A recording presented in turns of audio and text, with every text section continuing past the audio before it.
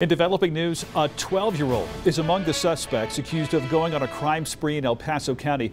The sheriff's office says a group of juveniles stole a car before crashing it into a gun store along Waynoka Road this week. It's an unincorporated part of the county. KRDO 13's Carla Sosa is live outside the Springs Armory where it happened. Carla. You can see the doors here at Springs Armory are all boarded up after the suspect crashed into the business. The impact was so strong, pieces of the sidewalk outside of the business are now missing. The owners here didn't want to talk with us because of the ongoing investigation, but they did say nothing was stolen.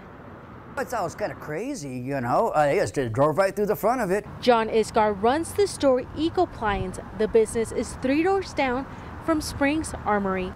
He says he went to talk with the workers at the store when he saw that they were boarding up the front door.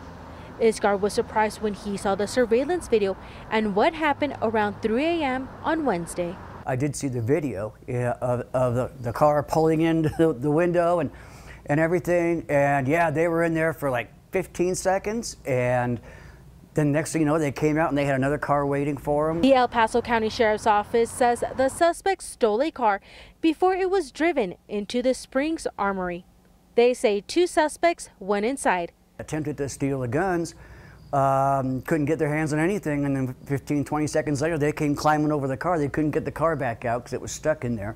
And so they hopped in their quote unquote getaway car and took off. Isgar says he'll be on alert but knows it may not be easy for thieves to steal from his appliance business. And it's kind of hard to carry a refrigerator or a stove on your back out a door, so it's not a quick grab and go kind of a profitable endeavor for them. The sheriff's office says a 12 year old was caught after he was trying to run away. An 18 year old was arrested, and the, third, and the third suspect remains on the loose. Reporting live in Colorado Springs, Carla Sosa, KRDO 13. Carla, thanks.